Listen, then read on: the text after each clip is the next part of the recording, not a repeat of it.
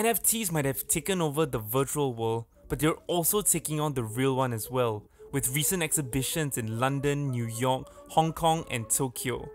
And now, it's Singapore's turn.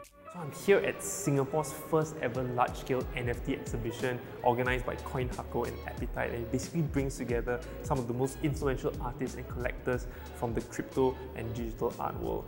Right behind me are a couple of Fidenzas and I'm being told that they're about 90 to 100 ETH which in the real world is about half a million dollars. Exhibits include multimedia pieces, prints of influential NFTs, real world art inspired by the blockchain, and even a Warhol. Block 9 is made up of tiny tiny numbers that came from the original Bitcoin code. And this audiovisual piece is purely generative, both in graphics and sound.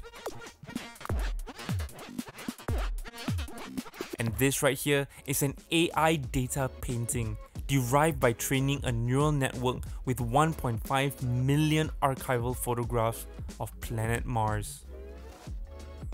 NFTs are taking over everything we do, from the way we consume culture to the way we own things online. So are you in?